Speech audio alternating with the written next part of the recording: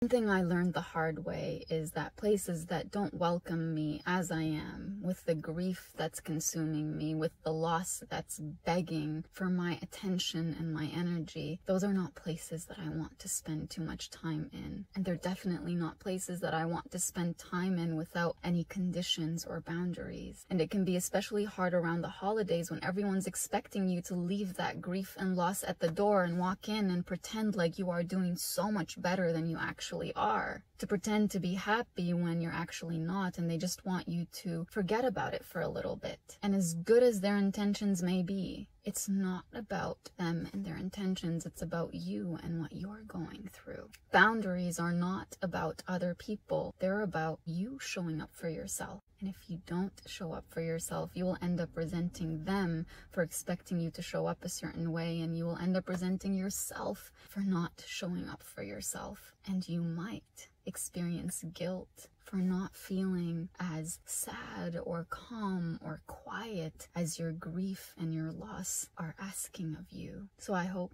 you feel empowered and you give yourself permission to walk through that door with your grief, with your loss. Just like space can be made for you, space will be made for